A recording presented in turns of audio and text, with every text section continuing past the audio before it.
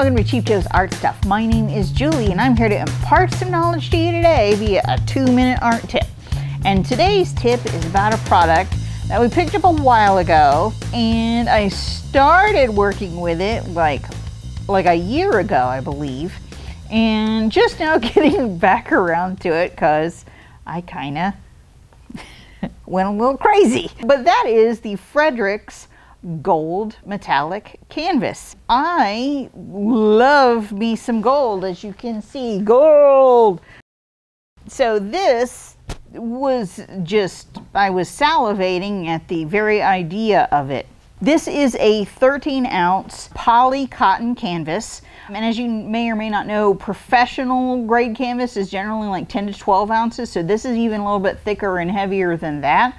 It is triple primed with a universal metallic gold gesso, which means that it'll accept acrylic or it'll accept oil. I really love this. It comes in a variety of sizes. It's very, very well made. It's got a really, really nice thick stretcher bar on it and stuff like this. So it has a presence about it. It's a super smooth surface though. So I will warn you, it was a little bit tougher for me to get used to than I thought it would be because it's kind of slickery, you know, and the, uh, you kind of have to get used to the way that it feels and the way that the paint lays down onto the surface.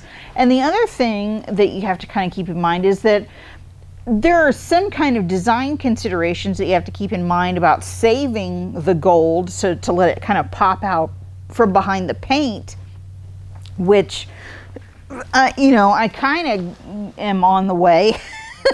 but um, not there yet, folks. And then the other consideration to keep in mind is that when you're mixing color, you do have this kind of warm kind of undertone, this kind of glow that kind of is picking up and um, that you kind of have to learn to compensate for just a little bit. I'm not saying that I don't like it because I definitely do. I did subject matter wise, as you can see here, bit off a little bit more than I normally do and I really have to dig in and kind of get serious and finish this thing now. So I promise, I promise, um, we're going to finish it right away and you'll see the, the finished product here at the end of this. But if you are, are interested in a really, really fun switch up to kind of challenge that painting brain and try something fun and new, definitely take a look at the Fredrix Gold Prime Canvas. It's gorgeous, absolutely gorgeous, and um, we're sure that you will enjoy.